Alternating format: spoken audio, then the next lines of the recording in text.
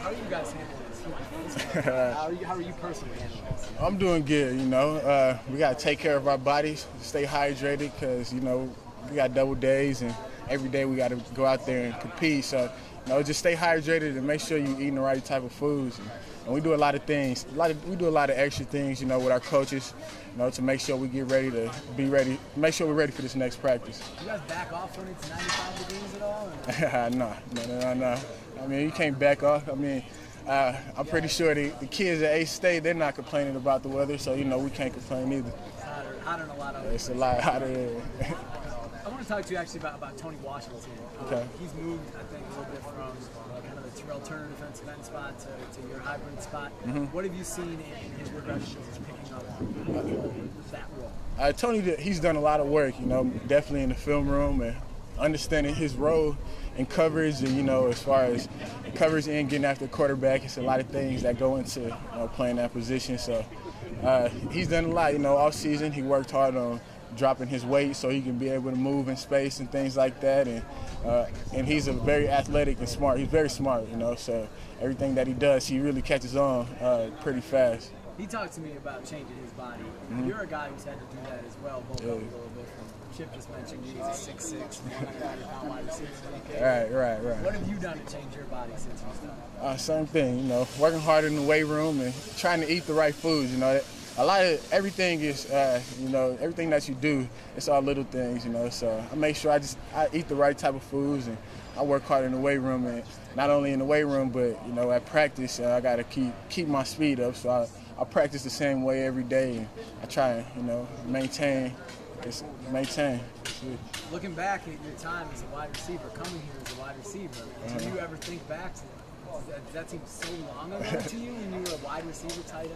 Uh, it was a while ago, you know, but I, I- can't look back. I feel like I'm in the right place. Uh, everything fell into place for me. You know, I came here as receiver, and unfortunately, I ended up on the defensive side of the ball. But you know, I couldn't stop. Couldn't stop working just because I got moved. I had to up make everything, you know, to work two times harder in everything that I did, and you know, and eventually the, the results, you know, everything just panned out for itself. Was there ever any resistance on your part to No. making the switch?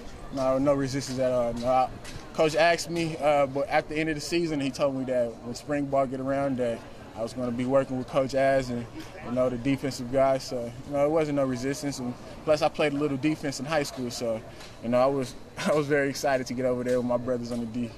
Miss it at all, catching the ball? I miss scoring touchdowns, of course. I miss scoring touchdowns, but you know, it's nothing like playing on defense with a bunch of guys that you care about and that you work with every day. He's got to talk to Boseko about how to score touchdowns on defense. Hey, Bo got, you gotta ask Bo about all the touchdowns. Bo got all the touchdowns.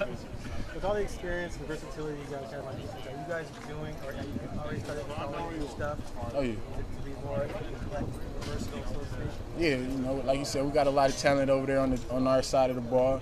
So you know, we we tried last year. We tried to spice it up a lot. You know, try to create opportunities for the guys in the front end and also on the back end. So you know, we're spicing it up a lot, and it's a lot of speed out there on the defensive side of the ball. So we're trying to make everything make it, everything simple for uh, for everybody, but at the same time, you know, try to up up everything that we do on the defensive side of the ball.